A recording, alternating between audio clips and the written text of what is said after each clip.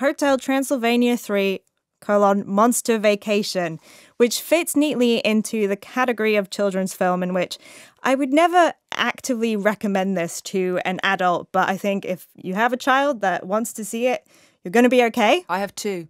Yeah, I think you'll have a good time together if they want to go see it.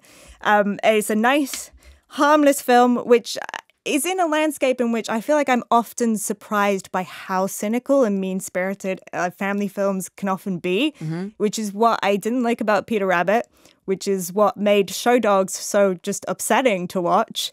And I think this is, you know, this whole franchise has been nice. It's about all about tolerance. The first film was about Dracula accepting that his, da- his daughter Mavis was in love with a human.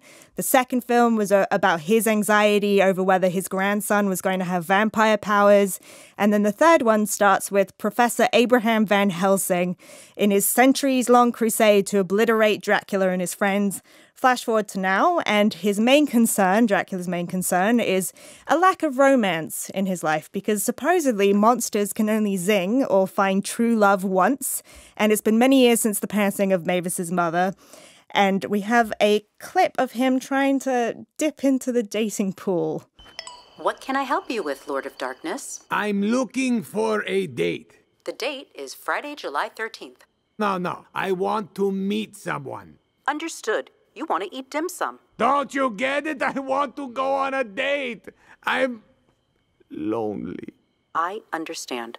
You want baloney. Uh, too many eyes. Too few eyes. Not into tentacles. Dad? No, maybe. You're stressed out from working too hard. You need a vacation from running everyone else's vacation. And I know just how to fix it. A cruise? Ooh. Surprise! No, no, no, no, no, no, no. Yeah. so, yes, they go on a cruise. Not the same cruise that the good doctors are on right now, a monster cruise. And it's there that he meets the captain of the ship, Erica, who he immediately zings with. Except there is a dark secret that may complicate matters somewhat. And I will say this film does have a lot of predictable jokes. I feel like I've seen the series misunderstanding things people are saying jokes a lot. Still makes me laugh.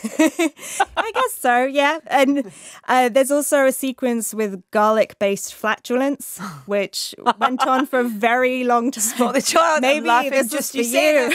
um, but I will say, I think what separates this franchise slightly from other sort of similar animated movies is the monster tag, because it means they can get quite inventive. There's lots of mayhem here. And I think it's the side characters that I really found funny. There's the gremlins on Gremlin Air, who are all the stewards are just pouring hot coffee on everyone. And there's a nice reference to the Twilight Zone there. And there's the fish servers, voiced by Chris Parnell, whose mouths are on the top of their heads. There's the chupacabra, who uh, orders a goat in a cocktail glass. And I think the ability to move to environments outside of the hotel really benefits this film. And there's a very starry cast. You have Adam Sandler back as Dracula doing his whole blah, blah, blah thing, which I feel like either you're into or you're not into. I think everyone knows already how they feel about Adam Sandler. But there's also Selena Gomez, Andy Samberg. Steve Buscemi, Keegan Michael Key, Molly Shannon, Kathryn Hahn, Mel Brooks, but I will say for the main characters, I feel like they're not quite developed enough to make the most of that set of voice actors. And there are three things about this film which I feel like kids will not be bothered by, but I feel like I, as an adult, was a little bit bothered by. Yeah. The first one is this trope that I've noticed in animated movies that in the sequels, when they run out of ideas, they just bring in a girlfriend, which I remember they did for the Ice Age franchise. Mm-hmm. And I can see that they're about to do it for the How to Train Your Dragon franchise. They've just brought in a girl dragon yeah. because they just don't know what to do. And I just feel like it's just not really an interesting thing to do when with animated movies you could just do anything the yeah. imagination could possibly mm-hmm. conceive.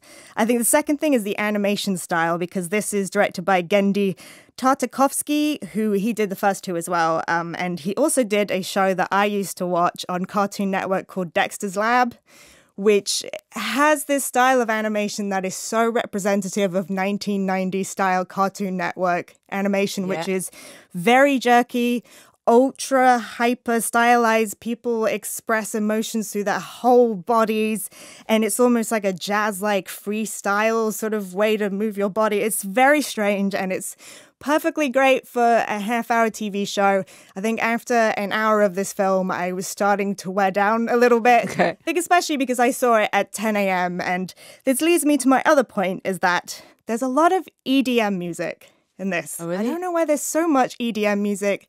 Tiesto is very heavily featured on the soundtrack. How bizarre. EDM, the power of EDM music is literally a crucial narrative plot point in the film. I won't give away how or when.